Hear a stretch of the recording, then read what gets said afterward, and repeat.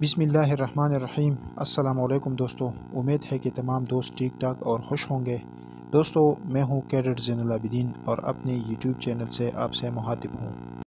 دوستو، آج کی ویڈیو میں ہم انگلش ٹو اردو اور اردو ٹو انگلش ٹرانسلیشن کے بارے میں پڑھیں گے۔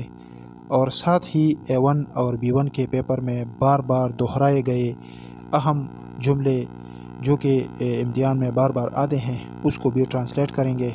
لیکن ویڈیو شروع ہونے سے پہلے آپ کو ایک ریکویسٹ ہے۔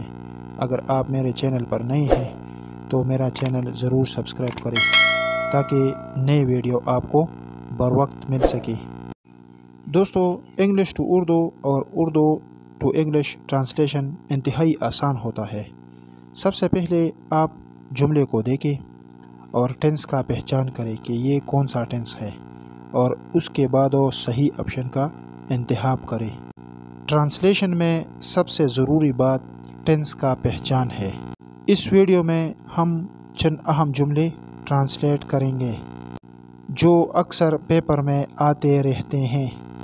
نمبر ایک، he has been writing from two hours یہاں پر آپ دیکھ لیں تو ہیز بین آیا ہے اور پسٹ فارم آف دا ورب کے ساتھ آئی این جی آیا ہوا ہے۔ تو اسی سے ٹینس کا پہچان ہوتا ہے۔ تو اس کا اردو ٹرانسلیشن ہوگا۔ وہ دو گھنٹوں سے لکھ رہا ہے۔ آپ اس کو بھی خیال رکھیں کہ لکھ رہی ہے تو پھر ہی کی جگہ شی آئے گا۔ یہاں پر اکثر کچھ دوست غلطیاں کرتے رہتے ہیں۔ His days are numbered. اس کا اردو ٹرانسلیشن ہوگا۔ وہ چند دن کا مہمان ہے۔ نمبر تین، شی ول گو ہوم وہ گھر جائے گی۔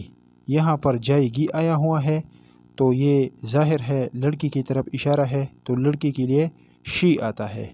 شی ول گو ہوم وہ گھر جائے گی۔ نمبر چار سائلنس ایز گولڈ ایک چپ ہزار سکھ۔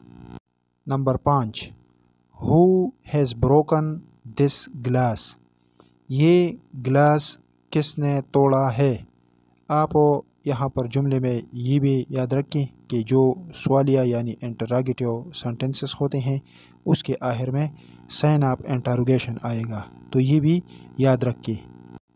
نمبر چھ، ٹیک آف یور کوٹ کوٹ اتار دو۔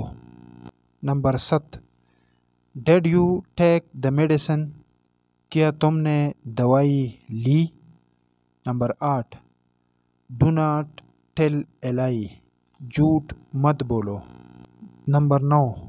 Hamid and Mahmood are going home Hamid اور محمود گھر جا رہے ہیں۔ Number this. He was killed in broad daylight وہ دن دہاڑے مارا گیا۔ دوستو، آج کے ویڈیو میں ہم نے انگلش کے چند جملے پڑھیں جو کہ اے ون بی ون کے لحاظ سے انتہائی اہم ہے آج کی ویڈیو اختتام پذیر ہوئی۔ اگلی ویڈیو میں آپ کے ساتھ پھر ملاقات ہوگی۔ تب تک کے لیے مجھے اجازت دیجیے خدا حافظ۔